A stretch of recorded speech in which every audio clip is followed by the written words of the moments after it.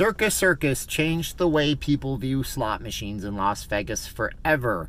You can kind of give it them credit for all of the slot gambling that happens in Vegas today. Here's a history on that and why it exists in the way that it does. And my name is Steven and I'm not leaving Las Vegas and let's go with the video. By the way, leave us a comment. Do you play slots when you come to Las Vegas or do you think it's a giant waste of time? Are you more of a thinker? You like to play those table games or do you have a secret system for playing slots? I've seen people say that they do exist. So 1974, Circus Circus was sold. We're going to go into a history video on Circus Circus in the future, so make sure you subscribe to the channel and hit the little bell for notifications. However, William Bennett and William Pennington purchased the Circus Circus from Stan Mallin and Jay Sarno in 1974. And at the time, the casino was losing money left, right, and center. It was being robbed blind by the old management, which they were quickly fired, and they just couldn't make much money at the Circus Circus. However, what they did do was something very smart. They called up a friend who was uh, currently a boss manager type person at the Sahara Lake Tahoe, which you might know now in Lake Tahoe as the uh, Mont Bleu. I believe it's called the Mont Bleu. And what they knew about that casino was that they were posting huge record amounts. They didn't understand how they were so profitable up in Lake Tahoe until they found out that the manager at that casino property figured out that everybody else in Lake Tahoe was paying out big on their slot machines. Now, at the time in Las Vegas, slot machines were not something that you were considered to be making money from. Slot machines were something that you gave to the general public who didn't feel like they wanted to play table games. Maybe they were intimidated by them. They were just a quick little money grab. And you would set your odds on the slot machines, and you didn't really think about those odds at all.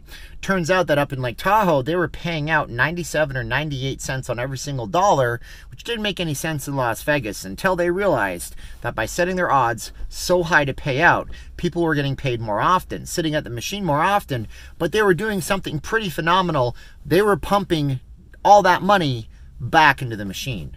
Yeah, as a matter of fact, if the Circus Circus were to pay out $100,000 in the 1970s to players, there was a good chance that they were going to get close to ninety-eight, ninety-nine thousand dollars of that money right back into the casino while people just sat there and played the games over and over and over again.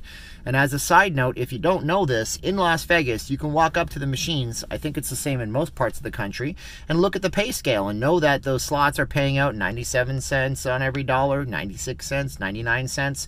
And of course, nowadays, the higher the odds on the slots, uh, the more money you have to put in. So if it's a 99% payout, you're probably paying five, playing five or ten dollar spins on a slot machine.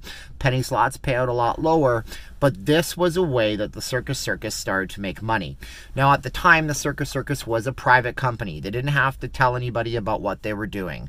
They purchased the Slots of Fun Casino, which exists to this day. They also purchased the Silver City Casino across the street, which is now a commercial development plaza, which was just sold a few months back, which will probably be razed to the ground. Who knows what's going to happen?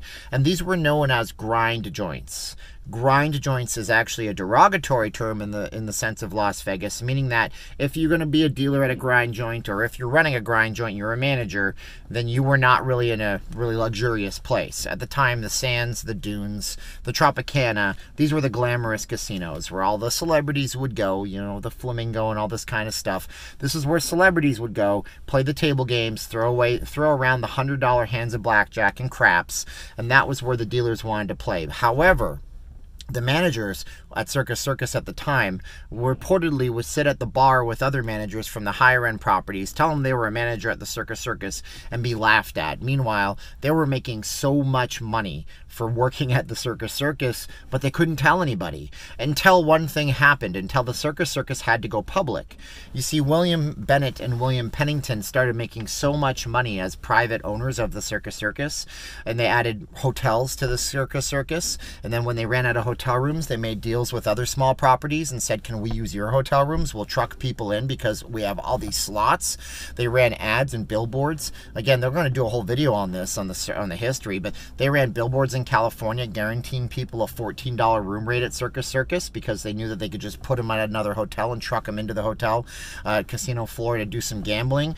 They made so much money that eventually they, realized, what if something happened to me? What if I had a massive heart attack? My family would be shouldered with all of this uh, uh, um, inheritance uh, taxes, and they would go bankrupt. So they incorporated the company, and when they did that, they went public with it as Circus Circus Enterprises, and Wall Street, and all these people said, "You're making how much money?" And they said, yeah, well, you know, this is what we did. We had the slots, we did the buffets, we added everything, we added the hotel towers, and now we're making hundreds and hundreds of millions of dollars just off of the slots. And that's it. And everything after that went berserk. Slot machine technology has accelerated to a point where now in Las Vegas you have skill based slots where you can actually play mini games like you're playing a cell phone game in the middle of your games. So you actually have a chance at winning on those slot machines. However, we all know there's always a house advantage. So don't get me wrong. I'm not telling you that you're going to go play a skill based game and all of a sudden you're going to game the system and win $100,000 or something ridiculous like that. That's probably not going to happen. But we now have the video game aspect in the slot machines. We have slot machines that are high, you know, high definition 4K screens screens. I've seen holographic slot machines. Slot machines are themed after major movie franchises, major TV franchises, major video game franchises, and the slot technology is ridiculous. There's a few major players in slot machines. There's Scientific Games, there's IGT, there's Konami. Williams sold out. I think they sold out to IGT or Scientific years ago. It's so big that video game manufacturers such as Konami, who used to make video games for the Nintendo and the PlayStation, predominantly just make slot machines now. So that's how much of a big business slot machines has become in the city.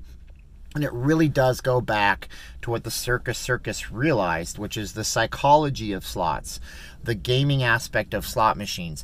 If somebody sits down at a machine and the machine is just spinning and making noises and kicking back that dopamine reward system in our brain, we're going to sit at the machine looking for the next reward. And it is a psychological aspect. And is it evil? I don't know. I mean, it's the way human beings are programmed.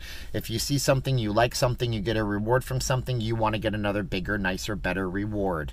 You know, years ago, researchers did um, some experiments with chimps. And with the chimps, they had different lines and different colors. And every single time the chimp would see a little blip come down the yellow line and he'd press a button, then uh, the reward would be some um, nectar, like from mango or something like that. And the chimp got used to that. So every time it saw that color, it would get a reward, color reward, color reward. And then it stopped giving the reward. And then the chimp didn't like that very much. And it got frustrated and it got agitated. And the reward fired up again. Boom. There's my reward system.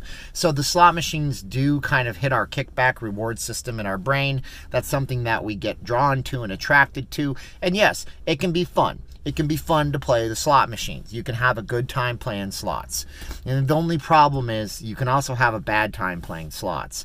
And the way our brains are wired are all the same, but all a little bit different. Some of you folks know your limits. You know what not to do. You know, you know what's going to be bad for you. Some of us don't know that until we come to Vegas and we end up being like Carlton in the Fresh Prince of Bel Air episode where they go, I think they go to Vegas and they go to Caesar's Palace and he's just like, mad at Will and he's like, "Come on, Will, look, look, look! It's it's black, black, red, black, black," and he can't get his reward and he's so frustrated. So don't let that become you when you come to Las Vegas. But the moral of the story is this: Circus Circus had a great, great concept they opened up the amount of payouts to slot players. They realized that slot players will sit there and they will feed back 98 cents or 99 cents on every dollar that they win back into the casino floor.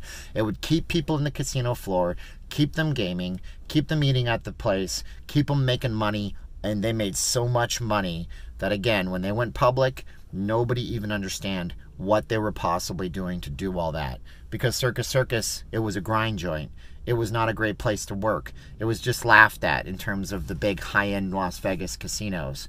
Little did they know, they found the secret sauce. And that secret sauce to Las Vegas exists to this day. So there you go. So that's my video on the psychology of slots, but I'm curious what you think about it. Do you play slots while you're in Vegas? Do you think it's a giant waste of time?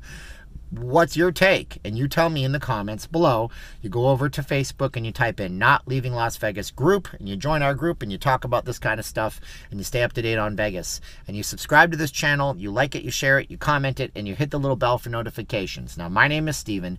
I am not leaving Las Vegas. I'm a Vegas blogger. I got to get to my job, but I appreciate you watching more than you know. If you want to be in the credits of this video, you should head on over to Patreon, pledge any kind of an amount, and this will be you in about two, one. I gotta go. Here's the credits.